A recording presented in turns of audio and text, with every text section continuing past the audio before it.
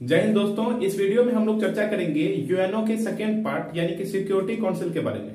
इससे पहले वाले वीडियो में हम बता चुके हैं कि यूएनओ क्या है, इसकी स्थापना क्यों की गई थी, कब की गई थी, कैसे की गई थी, ठीक है? और इसके आज जो हमारा टॉपिक है, ये यूएनओ के ही सबसे इंपॉर्टेंट मेंबर यानी कि हम जैसे हम लोग अंग कहें पार्ट्स कहें, जैसे कि हमने यूएनओ के टोटल आपको अंग बता दिए थे सभी, छह अंग बताए थे, लेकिन सबसे लास्ट जो अंग होता है, जैसे लोग सिक्योरिटी काउंसिल कहते हैं, यानी कि सुरक्षा परिषद, सबसे महत्वपूर्ण यही अंग होते हैं। हमने इससे पहले आपको बता दिया है इसके अंग के बारे में। महासभा, न्यास, अंतर्राष्ट्रीय न्यायालय, सचिवालय, सामाजिक एवं आर्थिक परिषद, और सबसे महत्वपूर्ण जो होता है, वो होता है सुरक्षा परिषद, जिसे हम लोग सिक्योरिटी काउंसिल कहते हैं। इसका, इसे जो है, हम लोग policeman of the world कहते हैं इसे। Policeman of the world यानी कि पूरी दुनिया का ये क्या है? पुलिस का काम करता है।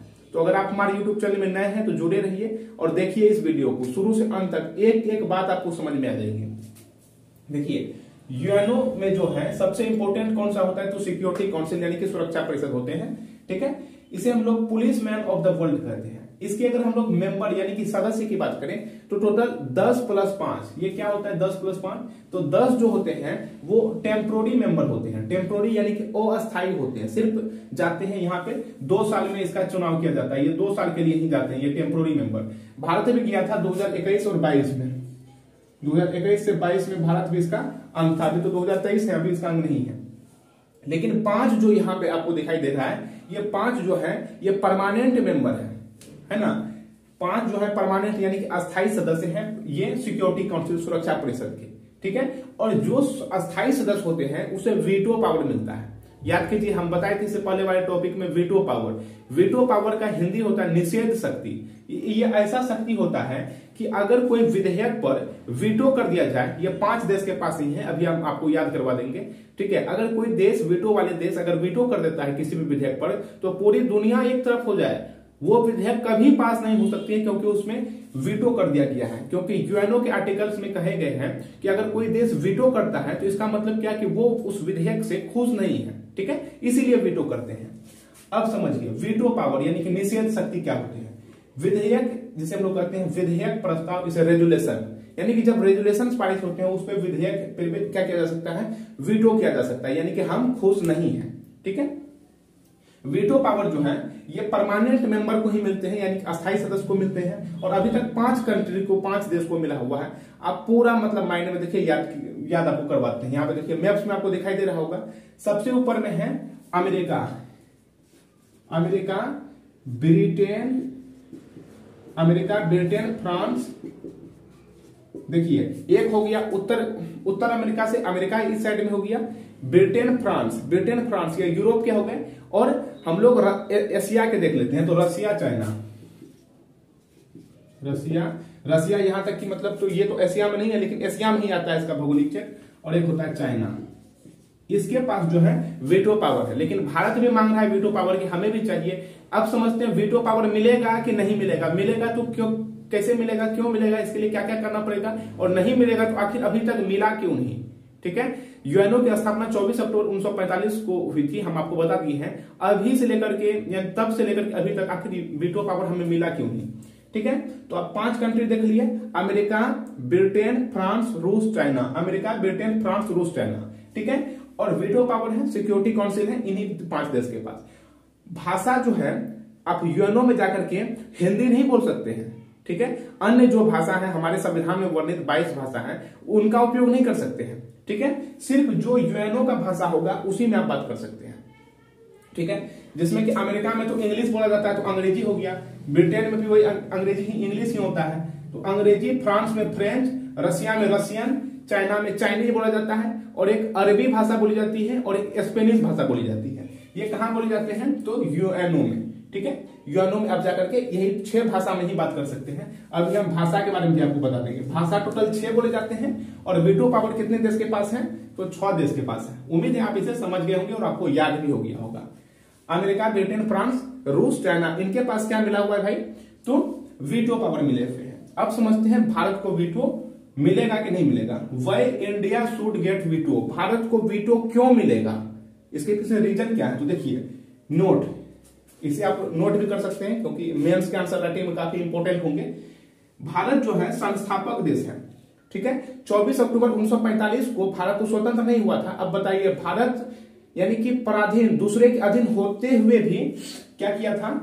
यूएनओ को सपोर्ट किया था, बनाने के लिए कि तुम्हें हम सपोर्ट करेंगे और इसीलिए सपोर्ट करेंगे क्योंकि तुम अंतर्राष्ट्रीय शांति की बात करते हो, सुरक्षा की बात करते हो, सामाजिक एवं आर्थिक जो परिषद है, उसकी बात करते हो, मतभेद को खत्म करना चाहते हो। तो हम लोग गुलाम होते हुए भी इसका संस्थापक में मदद किए थे, सहायता दिए थे। शुरू में तो इक्यावन देश ही इसके मतलब यूएनओ के मेंबर थे, बाद में ना एक सौ तिरानवे देश हो गए। ठीक है? और भारत जो है, अन्य देश को प्रेरित किया था। ठीक है? दक्षिण सूडान इसका लास्ट मतलब कि अंतिम देश बना था 2014 में। ठीक है? तो अन्य देश को यह प्रेरित किया था कि तुम यूएनओ में मिल जाओ। ये यूएनओ काफ़ी अच्छे होते हैं। ठीक है? और भारत जो है लोकतंत्रात्मक देश है। डेमोक्रेसी वाली कंट्री है। दुनिया में कोई भी भारत से अधिक लोकतंत्रात्मक देश नहीं है। चाइना के भले ही आबादी जनसंख्या अधिक है, लेकिन वहाँ पे तो चुनाव नहीं होता है। वहाँ तो कम्युनिस्ट पार्टी है। हम आपको कम्युनिस्ट पार्टी के बारे में बताएँ कि नहीं बताए? हैं शासन के प्रकार के बारे में। ठीक है? तो भारत लोकतांत्रिक देश है। धर्म निरपेक्ष यहाँ पे। धर्म निरपेक्ष का मतलब होता है यहाँ पे कोई धर्म की बहुलता नहीं है। यहाँ पे सब बराबर है। हिंदू, मुस्लिम, सिख, ईसाई, है ना? जैन, बौद्ध, पादरी जितने भी हैं, सबको एक समान दृष्टि से देखा जाता है। संविधान में सभी को समान दृष्टि, आर्टिकल फोर्टीन जिसे मिला हुआ है। विधिक समक्ष समानता और आर्टिकल फिफ्टीन मिला हुआ है कि सभी के लिए एक ही नियम कानून रहेंगे। तो भारत धर्म निरपेक्ष है। भारत जो है पूरे विश्व में शांति की बात करता है। ठीक है? अब देखिए, पूरे विश्व में शांति की बात करता है। दक्षिण सूडान में भारत जो है, यही शांति स्थापित करने के लिए अपने सेना को भेजे, जो कि मतलब काफ़ी सेना हमारे शहीद भी हो गए थे। तो इन्हीं सब के लिए ना हुए। अब देखिए, आतंकवाद का विनाश करता है भारत। यानी टेररिज्म का कहीं भी जो है, भारत जो है खोल करके इसका विरोध करते रहा है। और पाकिस्तान इसका सपोर्ट में है। आतंकवाद को ये बढ़ा रहा है और भारत जो है, ये क्या कर रहा है, इसका विरोध कर रहा है। WHO को ये काफ़ी मदद करता है वर्ल्ड हेल्थ ऑर्गेनाइजेशन ऑर्गेनाइजेशन को। है ना? वैक्सीन देता है पोलियो का दवाई देता है मलेरिया का दवाई कौन देता है? तो भारत ही देता है। इंटरनेशनल रिलेशन जो है भारत का बहुत ही अच्छा है। सभी देश के साथ ये आ, मतलब कि समन्वय से बात करते हैं यानी सभी देश के मामलों को देखते हैं कहीं पर अगर कुछ होती है तो अपने सेना भेजते हैं अपने सहायता करते हैं ठीक है? तो इस कारण से भारत को मिलना चाहिए ठीक है? लेकिन अब समझते हैं क्यों नहीं मिलना चाहिए? Why India should not veto power and the not permanent membership of UNO? UNO security council यानी कि सिक्योरिटी काउंसिल में क्यों नहीं मिलना चाहिए? देखिए एनपीटी का सदस्य नहीं है। एनपीटी में भारत साइन नहीं किया है। एनपीटी क्या होता है? तो न्यूक्लियर नॉन प्रोलिफरेशन ट्रीटी नाभिकीय अप्रसार संधि, ठीक है? उन्नीस में। उन्नीस में इसकी स्थापना हुई थी। ये जो है नाभिकीय अप्रसार संधि में भारत ने साइन नहीं किया ठीक है? एनपीटी क्या कहता है? ये जो एनपीटी है न्यूक्लियर नॉन प्रोलिफरेशन ट्रीटी ये कहता है कि हम जो है, क्या नहीं देंगे? टेक्नोलॉजी नहीं बांटेंगे। दूसरे देश को टेक्नोलॉजी नहीं देंगे। यानी कि न्यूक्लियर यानी कि यूरेनियम कैसे बनता है? यानी परमाणु बम कैसे बनता है? ठीक है? ये परमाणु बम रखने के लिए मना करता है यूएनओ ठीक है? लेकिन भारत क्या कहता है? भारत कहता है कि हम जो है परमाणु बम रखेंगे एटम बम रखेंगे, लेकिन फ़र्स्ट यूज़ नहीं करेंगे। ओनली एंड ओनली रिटेलिएट यानी कि जब हमें दूसरा देश अगर कोई मारेगा तो हम खड़े होकर के देखेंगे, नहीं, हम भी उसका ताबड़तोड़ क्या करेंगे? जैसा वो करेगा, वैसा हम उसके रिटेलिएट करेंगे। ठीक है? यानी उसे फिर हम मारेंगे। तो एनपीटी हो गया उन्नीस सौ अड़सठ में। भारत ने सीटीबीटी पर भी साइन नहीं किया है। तो सीटीबीटी क्या होता है? कॉम्प्रिहेंसिव टेस्ट बैंड ट्रीटी ठीक है? इस पे भी साइन नहीं किया। ये सीटीपीटी कहता है, उन्नीस में इसका स्थापना हुई थी। ये कहता है कि भारत थल, जल, वायु कहीं भी परीक्षण नहीं कर सकता है। इन सब के बारे में विस्तार से हम चर्चा करेंगे एक नए टॉपिक में कि ये एटम बम यानी कि भारत जो है, कैसे परमाणु संपन्न देश बना था।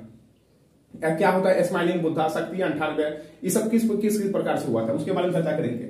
भारत जो है, थल, जल, वायु ये कहता है कि कहीं भी मतलब नहीं फोड़ सकता। तो भारत जो है, ज़मीन के अंदर में फोड़ा। तो सीटीबीटी का भी ये नियम माना। जम्मू कश्मीर को कहता है कि ये जो है, ये पूरा इंटरनेशनल इशूज हो गया है भारत और पाकिस्तान को लेकर के, ठीक है? तीस परसेंट तो कब्जा कर लिया है जम्मू कश्मीर के पीओके, पाकिस्तान ऑक्युपाइड कश्मीर। लेकिन और कहता है कि और तुम जो है मतलब कि जम्मू कश्मीर का मुद्दा ही है। लेकिन डिक्सन कमीशन, यानी कि डिक्सन आयोग का जब मतलब ये यूएनओ के माध्यम से भेजा गया था, तब यूएनओ ये जो डिक्सन कमीशन है, इन्होंने बताया था कि जम्मू कश्मीर जो है, जम्मू कश्मीर, ये इंटरनेशनल इशूज नहीं है। ये इंटरनल इशूज है। इंटरनेशनल नहीं इंटरनल यानी कि आंतरिक ये इशूज है। भारत, पाकिस्तान आपस में बैठ करके शांति व्यवस्था करके आपस में बात करें ठीक है? ये हम लोग को इसमें पढ़ने की आवश्यकता नहीं है। अब देखिए, भारत जो है, कहता है क्या कि यूएनओ में ये बजट बहुत कम देता है, एक परसेंट देता है, ठीक है? तो एक परसेंट बजट देता है तो वैक्सीन भी तो देता है भारत। वैक्सीन नहीं देता है मलेरिया का दवाई भी तो देता है पोलियो का दवाई भी तो देता है। नहीं देता है ये सब आप नहीं देख रहे हैं। दक्षिण, ये ये दक्षिण अफ्रीका में सेना की ज़रूरत हो गई तो सेना भी तो भेजा था, मलेरिया के दवाई उतना चीज़ मदद भी तो करता है, ठीक है? तो ये सब है। अब यहाँ पे देखिए, भारत जो है एनएसडी पर भी साइन किया एनएसडी क्या होता है? एनएसडी होता है non nuclear supply supplier group यानी कि भारत को कोई, और भारत के ये झारखंड के जादूगोरा खान से भी इसकी यूरेनियम सब निकलता है, ठीक है? तो ये जो पाँच देश हैं, इसमें से आप समझते हैं कौन कौन भारत को बाधा कर सकता है कि वीटो पावर नहीं मिलना चाहिए। एमटीसीआर क्या होता है? मिसाइल टेक्नोलॉजी कंट्रोल रिजिम ये भारत इसका परमानेंट मेंबर है और जो भी इसका परमानेंट मेंबर होता है, उसको एस फोर्टीन मिलता है.